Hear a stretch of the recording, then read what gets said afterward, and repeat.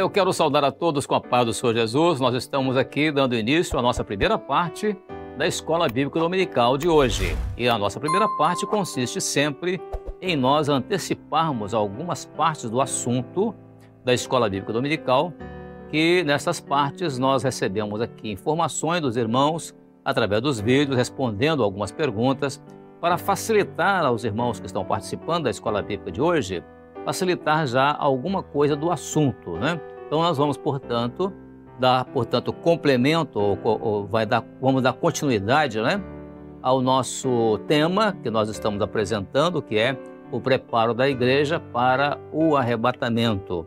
E nós continuamos no nosso, no nosso trabalho da Escola Bíblica Dominical, mostrando sempre o assunto no livro de Cantares de Salomão, ou seja, o nosso texto base está no capítulo 1, capítulo 4 e capítulo 5 do livro de Cantar de Salomão para esta escola bíblica.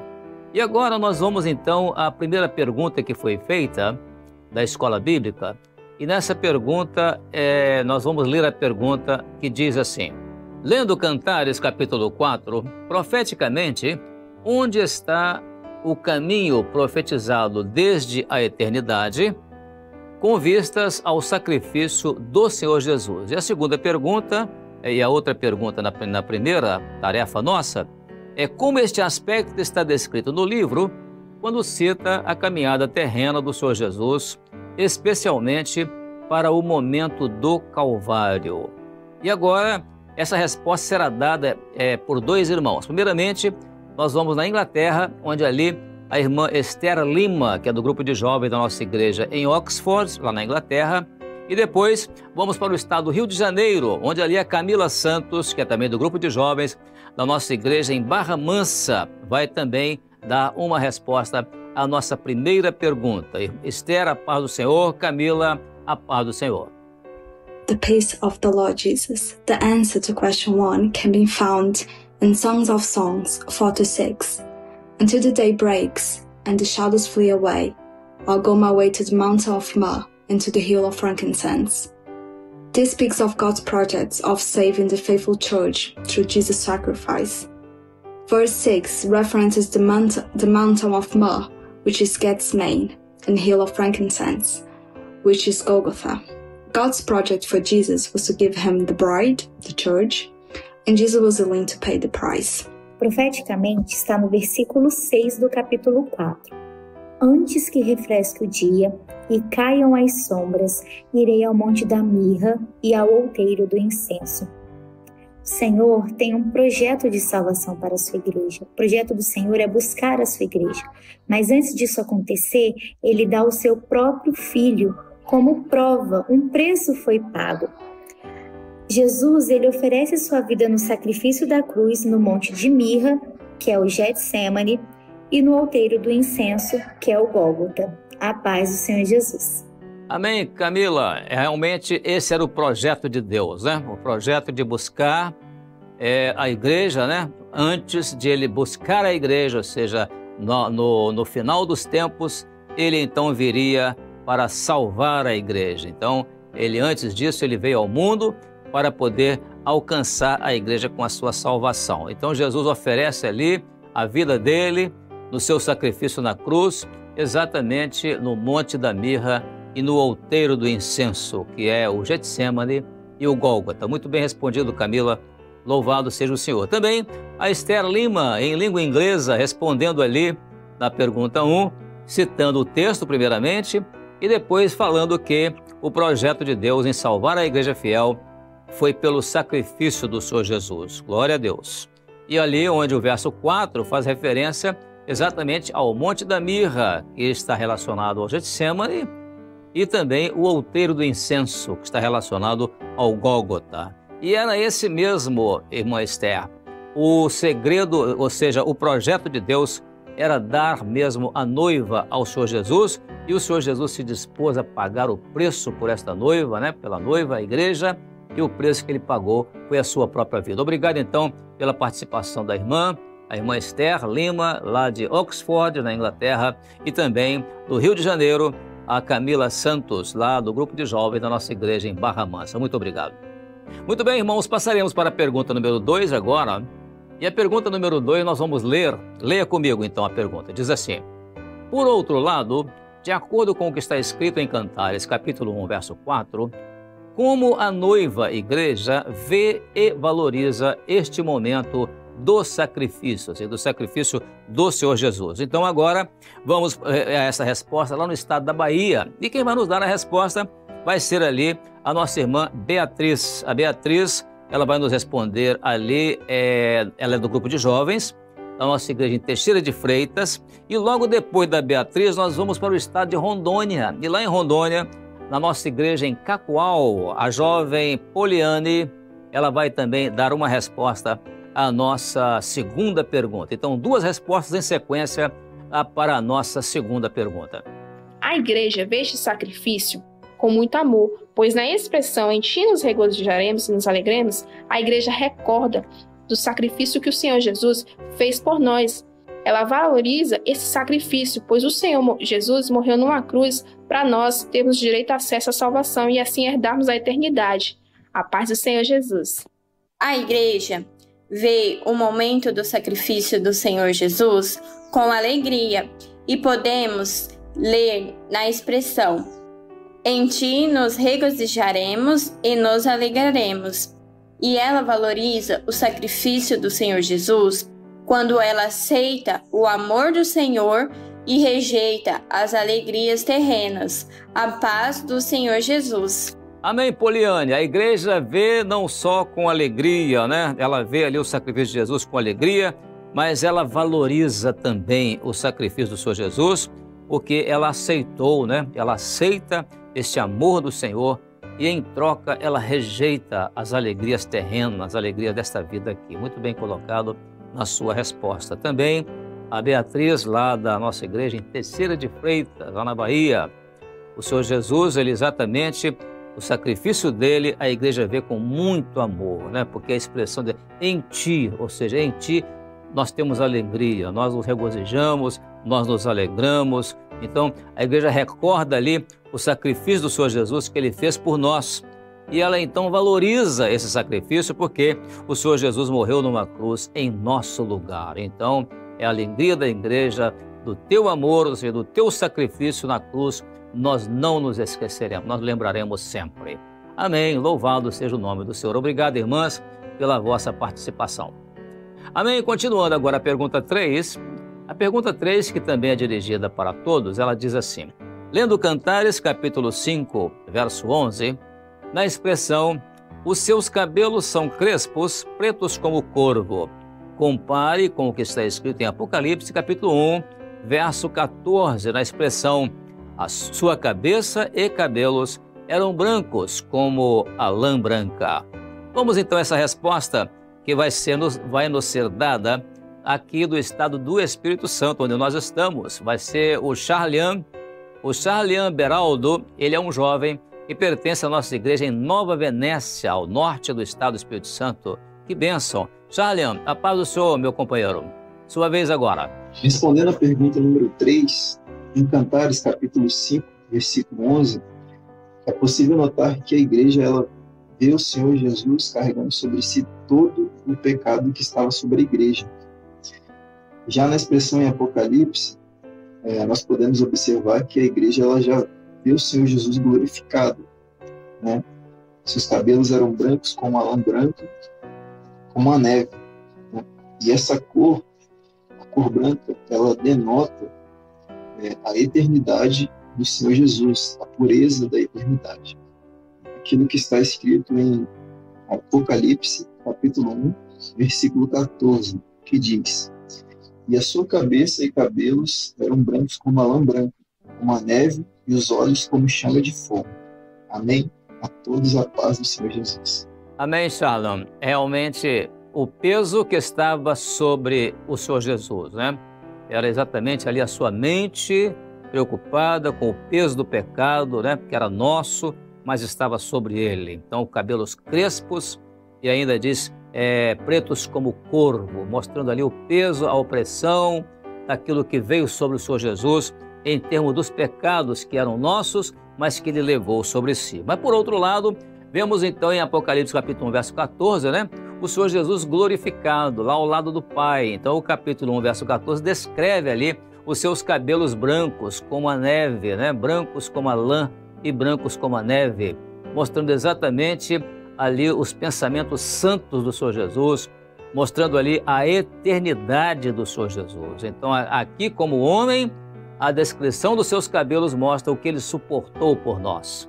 Mas lá na eternidade, glorificado, ali estão seus pensamentos santos, ali está a sua eternidade. Isso realmente é uma comparação muito bem feita entre os dois textos. Obrigado, Charlan, pela sua, é, a sua expressão e pela sua forma de transmitir a palavra do Senhor nessa resposta, viu? Glória a Deus. Vamos então, irmãos, para a nossa pergunta 4, que ela é para crianças, intermediários e adolescentes. E essa pergunta, ela diz assim, lendo Cantares, capítulo 1, verso 4, quais as gr grandes riquezas descritas pela noiva, igreja fiel, e qual o, o valor dado ao sacrifício do noivo por ela, aquele sacrifício que Jesus fez pela igreja, qual é o valor que é dado a esse sacrifício? Então vamos às respostas. Nós vamos começar lá pelos Estados Unidos e ali nós vamos ter a presença do Anthony. O Anthony é da classe de adolescentes da nossa igreja em Danbury, lá em Connecticut.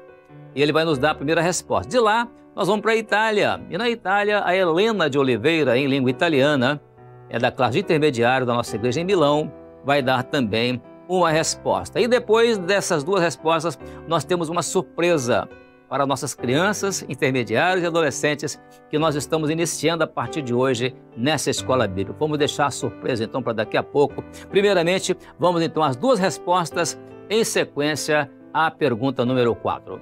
The great riches described in the bridegroom, the faithful church within the intermacies of the communion of the, the Lord in his mysteries of the chamber.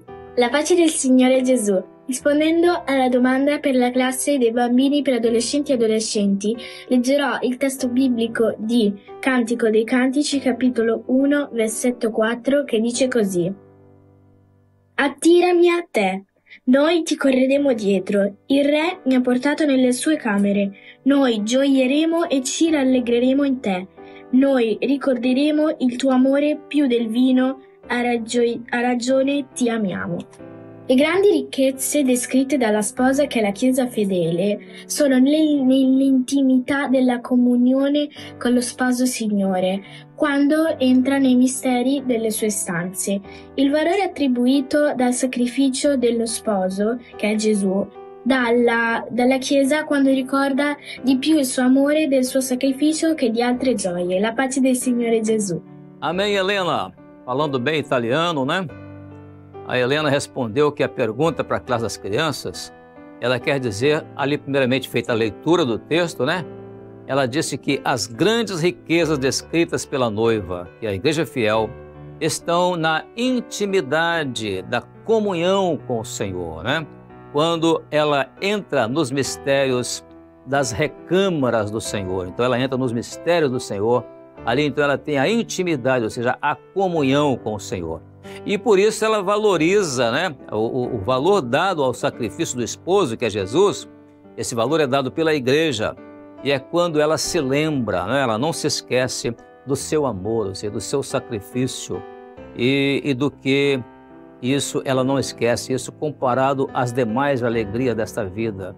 Então ela prefere sempre, ela se lembra sempre do amor do Senhor, para não, mas ela não se lembra das alegrias desta vida. Ele é melhor do que o vinho melhor do que as alegrias desta vida. Helena, muito bem colocado na sua resposta, bem completa. E o Anthony também, respondendo à pergunta que lhe foi feita, né, nós estamos publicando apenas a resposta, ele disse que as grandes riquezas descritas pela noiva, a igreja fiel, estão na intimidade da comunhão com o Senhor. E quando acontece isso?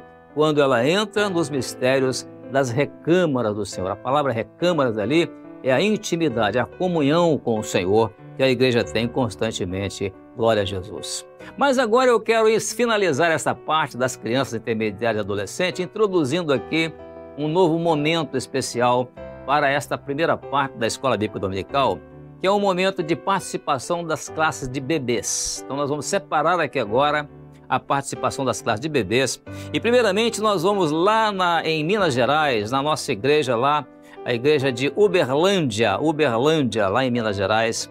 Nós temos ali o Israel Franco, ele é de três anos de idade e ele vai estar ali uh, manifestando ali a, a expressão né, da maior alegria que é amar o sacrifício do Senhor Jesus, muito bem citado ali pela mãe, e ele acompanhando, folheando ali a Bíblia. Depois, nós vamos lá para os Países Bascos e vamos ver outra coisa maravilhosa de criança de 3 anos de idade também, aliás, quase 3 anos de idade, que é a Helena, lá em Irum. Irum fica nos Países Bascos, lá ao norte da Espanha. E ali, a Helena, que é filha de um diácono lá de Irum, a nossa igreja lá, a igreja cristã Maranata de Irum, ela caminhando na rua com a sua mamãe, e a mamãe é professora de crianças intermediárias e adolescentes. E ela ali lembrando exatamente o que foi ministrado no seminário das crianças intermediárias e adolescentes. E nós vamos pegar algumas partes ali da caminhada dela, testemunhando pela rua, cantando. Nós vamos ouvir isto e depois nós vamos fazer aqui um rápido comentário, terminando esta parte final dos nossos bebês também, crianças de 0 a 3 anos de idade, participando agora da nossa escola bíblica nesse exato momento. Lendo Cantares, capítulo 1, verso 4, quais as grandes riquezas descritas pela noiva, igreja fiel, e qual o valor dado ao sacrifício do noivo Jesus por ela? Olha, a nossa maior alegria é amar o sacrifício de Jesus. Está lá em João 3,16, né? Porque Deus amou o mundo de tal maneira que deu o seu Filho unigênito para todo aquele que nele crê, não pereça, mas tenha vida eterna. Manda um beijo para os irmãos. Beijo. Não dedique Jesus. Quizá Jesús. Maranata,